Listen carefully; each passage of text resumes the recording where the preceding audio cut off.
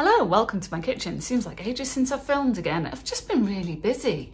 So today we're doing a good old fashioned grocery haul. I went to Sainsbury's and I spent £93 and 65 pence. We got a fair bit of stuff. There's some meat in there, things like that, slightly more expensive items. But today is primarily a lesson in why I should film things straight away. This order came yesterday, but the girls were in the house. I try not to film when they're around because I just don't feel very comfortable with that. Um, so I'm doing it today and half the stuff's already been eaten, which goes to show that with a family of four plus lots of pets, uh, food does not last long. And sometimes, you know, my brother watches my videos and he'll message me and go, you can't possibly get through all of that. You must be bursting at the seams. You have to be throwing away food. We don't. We genuinely don't. Everything gets eaten really quickly. As usual, what I will do is I'll put up on screen how much everything cost and you can tell me if you think that I've been ripped off. And please do like and subscribe if you enjoy these videos. I do them very often, so be good to have you on board. Oh, and um, what do you think? I decided to bleach the roots and change colours. I'm liking it. I'm feeling the purple for spring. Hmm. Doesn't really go with the red dress though, but I was not thinking about that this morning. Never mind. Right, let's get into it. We'll see what we got, how much it cost. Let's start over here so I can get this back in the freezer. Um, poppadoms, I'm going to do a curry at some point and the kids love poppadoms. I love poppadoms, everyone loves poppadoms. So there we go. Got some yogurts for the kids. Freya really enjoys these ones, but they're not the little mini kiddies ones. They are full-sized, so, I mean, I think it actually works out cheaper per gram uh, presumably for that. Some frozen broccoli florets, always handy to have in. I thought I'd gone for the bigger box of wheat biscuits. That's own brand Weetabix basically, isn't it? Um, we go through a lot of these because both kids enjoy having them for breakfast. Some cereal for Ed. He's a man of habit. He likes his honey hooplas or generic non-branded hoops. I got fish finger, you can tell, look, lunch yesterday. Fish fingers for the kids, gluten-free fish fingers for me, these are super expensive compared to those, so that is why I do that. Um, this half-eaten bag of salad that also has a carrot and half a courgette in it. Uh, this has already been eaten by the tortoise and the bearded dragon. This is what happens five minutes after she gets like, when I feed her, it's like a huge mountain of food and pellets and calcium powder. So basically she eats what she fancies at the time. She messes everything about, makes everything generally disgusting and grotty, and then goes and sits behind something and has a, a little snooze. It's such a hard life for a Wednesday, isn't it? However, there is a contender for new messiest family member, and it's this lady who has done a massive poo over there. I cleaned her out this morning and she's messed her, her, food up. Now, this tank is looking very Spartan at the moment. I'm not happy with this. It's not enriching enough for her. So what Ed and I are planning to do over the Easter weekend is we've got some substrate that she can dig in that's arrived and we're going to actually make out of old pallets platforms and runs so that she's got more space to run about in. She can climb, she can do all sorts. I've got some fake plants and vines and everything. So um, I'll, I'll, put a picture up at, at, some point of what the final result looks like. Uh, but Zelda, you are going to be getting all sorts of exciting new things. But in the meantime, tidy your room, young lady. Jeez, oh. You are such a grumpy mare. But she's not grumpy. She's adorable. She likes to hang out on my shoulder all the time. 12 eggs. The girls are really loving boiled eggs at the moment. Freya's really into dippy eggs. So we did buy more eggs because I, I can't get them in the house fast enough at the minute.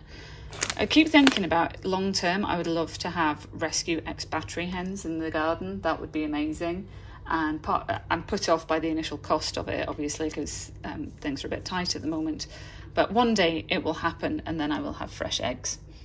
Got some gluten-free porridge oats for me. I have porridge pretty much every morning. Some Greek natural style yogurt. Always good to have. Cheesy balls, kiddie snacks, very important. Um, some bacon. I haven't had bacon for ages actually. I'm thinking bacon sandwiches over the bank holiday weekend that's coming up. Uh, pork belly slices, these were a reasonable price and if you have not done pork belly slices in the air fryer, you have not started living yet. I promise you they're amazing. They're so good. Just marinate them, bung them in there. Keep a close eye on them because you don't want them to go over. They will be crispy yet moist and fabulous. It's the only way to cook them as far as I'm concerned. uh, uh, what, what are you, um, words? Soft cheese, cream cheese. That's for a recipe that I have coming up that I'm very excited about that will include salami slices and parmesan. So you need to keep an eye out for that. I want to do a big thing of bolognese, so I got some 5% fat beef mince. I know this packaging is better. I know it doesn't affect the quality of the meat. I just find it deeply unsettling for some way uh, reason. Like, I don't think they should go back to the old style packaging because that's more wasteful, but I, I don't, I've just, for some reason it gives me the ick and I'm not a squeamish person, so there we go. This kielbasa sausage is incredible and everybody in the house loves it. What I my favourite thing to do with it, you can do hundreds of different things with it, is just chop it up into big old chunks, chuck it on a baking tray with some veg, and do a one pan sheet meal. Um, just put some olive oil, paprika, garlic, whatever seasonings you want. Incredible, amazing. You need to buy that if you have not already tried it. Mini apples for the kids. The fruit bowl has one lonely apple in it, and that is unacceptable. This is a huge thing of British chicken drumsticks. Um, I don't know, do you have a, a weight on you? Two kilos. I didn't think that was bad. I'm, I don't know whether I'm going to put half of this in a freezer bag and freeze half, or whether I'm just going to cook them all, and then we've got cold chicken drumsticks to have with lunches and whatnot for the rest of the week. What would you do with all these? You tell me, what should I do with all of this? And the girls absolutely love eating chicken drumsticks and ribs and everything like that that you think a one year old and a two year old might not necessarily enjoy. They're like tiny Vikings straight in there. Right, over here, this is a bit embarrassing. So, this is a bit of a graveyard of stuff that we've already gotten into. The strawberries were gone, I think, within two hours of getting into the house. They don't exist anymore. I'm going to have to sign that up now. And the grapes, likewise, they didn't last very long either. Red seedless grapes. I'm not going to throw that because there's a sad, squishy one. But imagine I did for dramatic effect. Courgettes. One of them's already over living in the salad bag. Um, so rabbit, tortoise, Zelda, the bearded dragon, and us. We, we all get to partake of that. Get some celery, we always go through that. Cucumber, I'm surprised this is still around. It probably won't be around after the next 24 hours. Just gone immediately. Right, you're going to think that I'm insane. So, oat bran, I did not buy for us. I bought to save money long run because we, we have the bearded dragon now. Um, she was a rescue. We didn't pay anything for her. She was uh, somebody locally on Facebook said, "Ah, help me! I can't look after her anymore," and we have kept them before, so we did. But they eat live insects, and the insects get really, really expensive. So the cheapest way I've found of doing it is to actually set them up properly in a container and get them to breed yourself. So that's it's for mealworms and crickets, is what that's for. There you go. If you didn't know that and you've never kept reptiles, consider yourself educated. Sugar snap peas, girls love those. I love these, all the animals love these. Tell me you have toddlers in the house without telling me you have toddlers in the house. Ketchup, we're out. Tantrums were had. Some gluten-free pasta for me. I got one fusilli and I got one penne. Um, I just cook gluten-free pasta for everyone. I don't do it Blah, blah, blah, Words are hard today. I'm going to have another coffee in a minute. I don't do separate pasta. I just cook it for everyone because now this has dropped down to 75 pence a bag. It is pretty much as cheap as buying proper pasta. Two things of marrowfat peas. Don't know why they've been beaten up, but they have. I make pea and ham soup with that. Thing of tomato puree, running pretty low on that. We're not on main sewage, so I need to get septic tank safe toilet cleaner which is more expensive, but it is what it is. Am I convinced that this actually does much? No, I think it's pretty rubbish, to be perfectly honest. But I gotta use something. So I use that. Washing up liquid. We do a lot of washing up. There's a lot of dishes. I needed more of that. I've got some pears to go in the fruit bowl. These are as hard as bullets, so they'll need to ripen up for a bit. This has also been gotten into, see the aforementioned fish fingers. We had fish finger sandwiches for lunch yesterday, so gluten free bread for me. Coffee.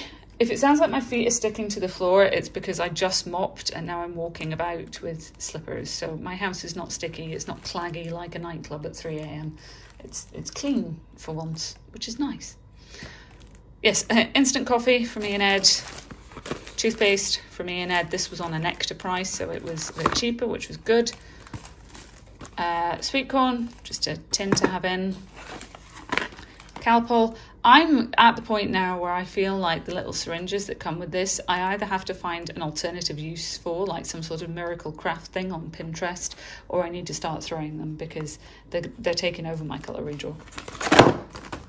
Breadsticks. We've already cracked into the breadsticks. That did not take five minutes. But I think Freya picked them up as I was bringing it all into the kitchen and immediately started opening those.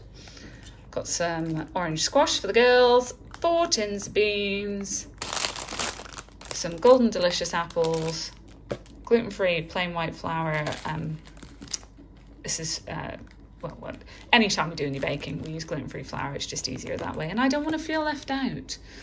Carrots, these have also been gotten into already. They won't last very long. I'm out of garlic, so I'm going to peel all of these and freeze the individual cloves, and then that way I can just pull out one as and when I need it. Lasts longer that way. British bacon potatoes. I might have baked potatoes, or I might just cut them up for chips. Who knows? And curly leaf kale. This Ed is not a big fan of kale. The girls aren't a big fan of kale either, but I love it. So this is primarily going to be for the tortoise and the rabbit and the bearded dragon. I don't think I've said bananas, but bananas. These are a bit green, so they'll need a bit of time, which is brilliant because my kids are really patient about that. So yeah, that's everything that we got. Let me know if you've bought anything exciting recently and please give me some ideas for chicken drumsticks. Obviously by the time this video goes live, I'll have solved that problem, but for future, I would like some ideas. Thank you so much for watching. You take care. Bye.